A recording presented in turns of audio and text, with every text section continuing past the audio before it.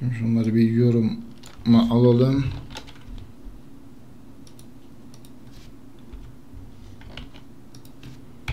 Bir altından devam edelim.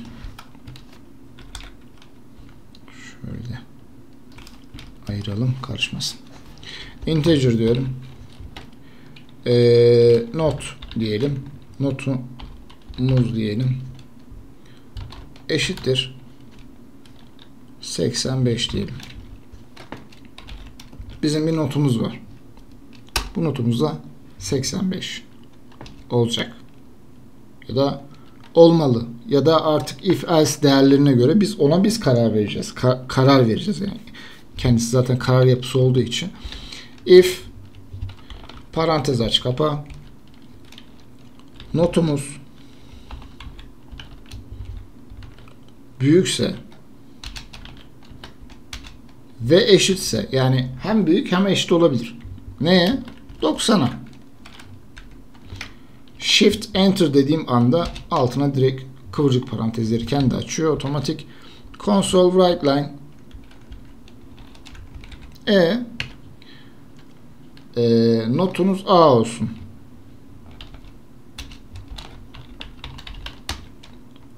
A olsun. Böyle bir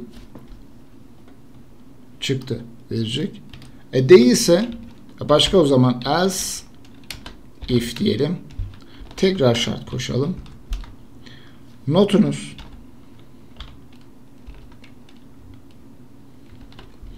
büyükse ve eşitse neye? 80'e. 90 tutmadı çünkü. Pardon. Shift Enter Console Right Line diyelim. Tamam. Notunuz B'dir diyelim. Else if else if tekrar şart. Notumuz büyükse ve eşitse 70'e console write line notunuz. Hatta şöyle AA BB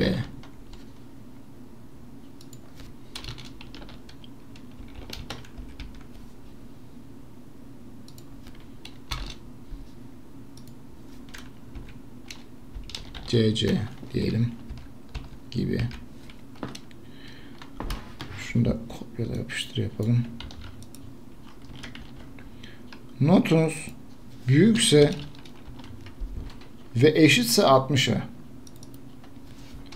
D'de ee, en son else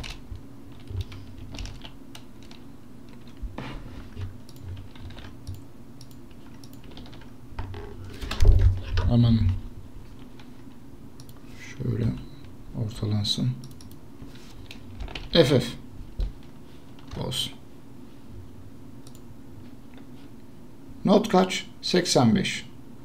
Diyor ki notun diyor se, e, değer neyse artık bilmiyor.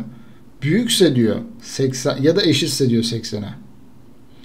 Büyük ve eşit mi? Evet notum 80'den büyük. Pardon 290 var. 90'dan büyük olacak ya da 90'a eşit olacak. Ya 90 olacak ya da 90'dan büyük olacak gibi. E, bu şart AA seçeneği e, şartı yerine getirmiyor. E, bir altındakine bakıyor. Elsif'e bakıyor. Notun diyor hem 80'den büyük olacak diyor. 80'den büyük mü? Evet. Ya da 80'e eşit de olabilir diyor. 80 eşit mi? Hayır. Ama bir tanesi tuttu yani. 80'den büyük. O zaman ne yapıyor? BB'yi kullanıyor.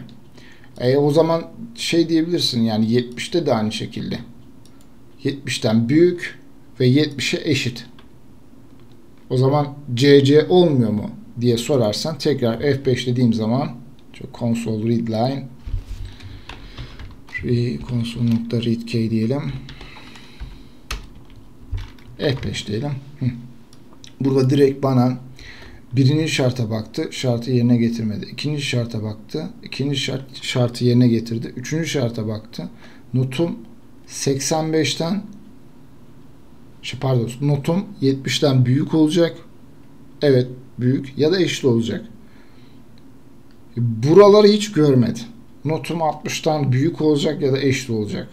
85 60'tan hem büyük ama eşit değil.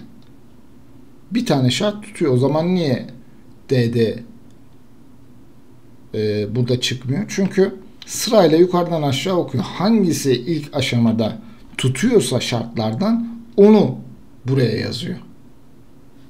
Burada direkt ikinci şart buna uygun olduğu için ikinci şartı olduğu gibi buraya yazdı. Burada mesela 45 diyelim.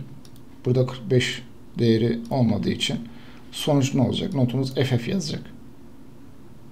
Çünkü buradaki hiçbir şart ne 90'dan büyük ya da eşit, ne 80'den büyük ya da eşit, ne 70'ten büyük ve de eşit hiçbirisi yerine getirmiyor. Direkt else bloğuna giriyor. Else bloğunda da o zaman o değil, bu değil, bu değil. O zaman bu kesin diyor. FF diyor. Sana F verdi direkt. 61 diyelim ya da 71 diyelim. Tekrar F5 diyelim. 90 tutmadı. 80 80'den de büyük değil ya da eşit değil. 70 ya da eşit olabilir. Notum 70 mi? 70'ten büyük mü? Evet 70'ten büyük. 70'e eşit mi? Hayır. O zaman direkt notu CC verdi. Bir sonrakine bakmadı hiç. Şöyle de yapabiliriz. Direkt 70 diyebiliriz. Burada ne yapar? İki şartlı tutuyor anlamına gelir bu. Hem 70 hem de 70'e eşit. Pardon iki şart birbirini tutmaz. Ee, pardon. 70'e eşit. 70'ten ama büyük değil. Girdiğim değer. 70'e eşit. Yine notumuz CC yazdı. Diğerlerine hiç bakmadı. If else yapılarında else if yapıları ve else yapıları bu şekilde yorumlayabiliyoruz.